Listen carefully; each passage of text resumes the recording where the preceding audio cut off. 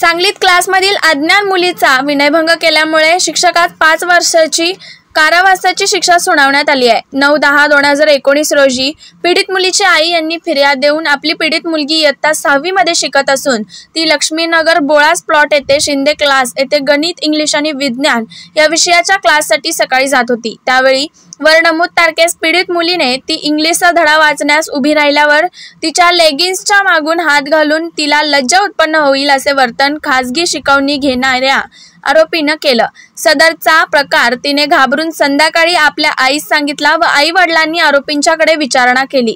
त्यानंतर संजयनगर पोलीस ठाणे येथे तक्रार दाखल केली. सदर तक्रारीचा तपास महिला पोलीस उपनिरीक्षक तृप्ती चव्हाण यांनी केला. जिल्हा न्यायालयामध्ये दोषारोप पत्र दाखल केलं. सदर कामाची चौकशी होऊन दोन्ही बाजूंचे म्हणणे ऐकून घेऊन मे कोर्टाने वरीलप्रमाणे शिक्षा सुनावली.